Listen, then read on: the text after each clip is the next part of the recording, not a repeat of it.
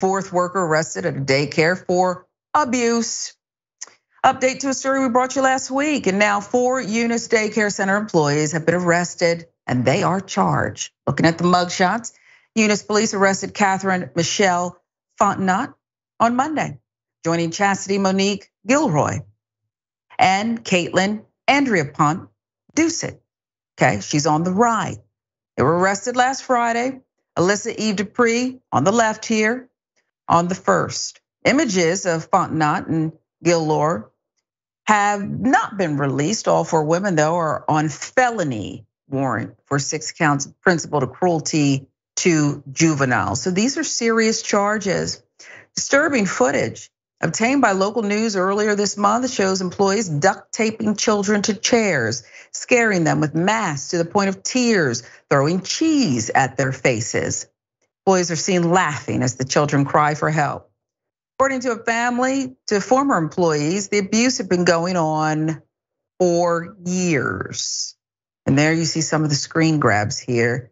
It's just despicable as a parent to think that your child will be going through this and you're not around to help them.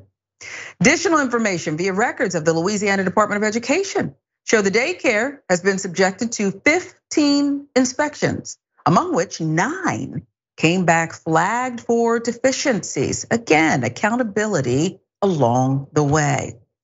According to Eunice Chief of Police Kyle LaBeouf, the investigation is still ongoing.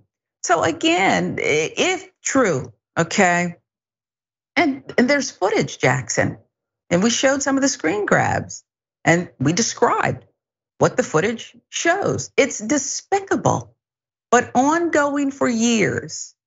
All of these deficiencies, nine out of 15.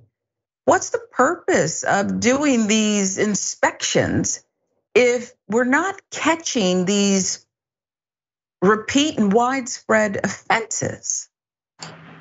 Well, I think uh, that really comes down to the enforcement. Who, uh, how are we enforcing these inspections? Because you know they came back with nine uh, deficiencies nine different times, and oftentimes uh, whether you know whether it's departments like this or auditing elsewhere, you know the Pentagon comes back and they missing trillions of dollars. So so much of it is just you find the information, but is there actually going to be anything done about it?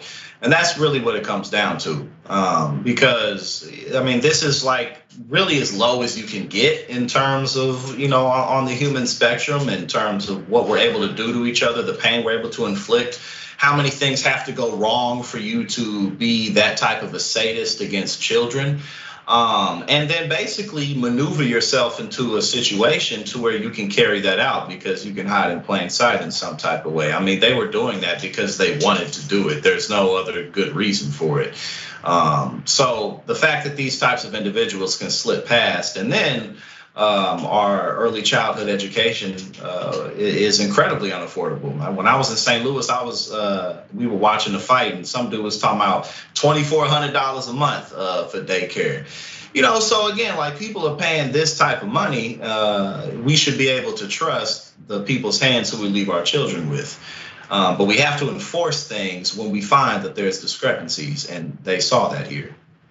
Yeah, and I can't help but wondering as we wind down on this one, Jackson, when we and if we have the mugshots to put back up, we look at um, well, white tears, while the screen grabs show at least one or more children of color. Louisiana has a history, of course, that I hope we all have a common understanding of. It is amongst um, the bottom when it comes nationally to education and the like. But I wonder, and these are felony charges. I do wonder, and I want to reserve and follow the story through conclusion if someone will feel sorry for the wrong party in this one. I'll give you the last word. Oh, I'm sure some someone somewhere will but perhaps this one is so egregious that they won't air it on television or, or take it up as part of their uh, of their marketing. I think we may not see this one for that. Now, again, the the Alabama boat thing that's different, you know, but this is involving children, so I think it'll if, if there's anyone supporting this, they'll keep it on the hush. Keep it on the hush. We'll see. Hopefully, hopefully, hopefully. I mean. Yeah. We'll see. Probably check and see if there's a GoFundMe already for these perps, and then I'll let you know.